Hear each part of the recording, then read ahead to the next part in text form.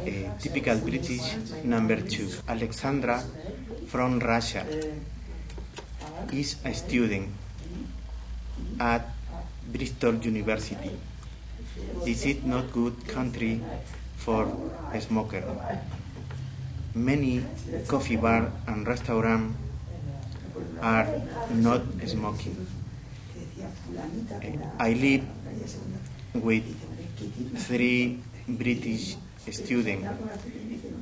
They don't smoke.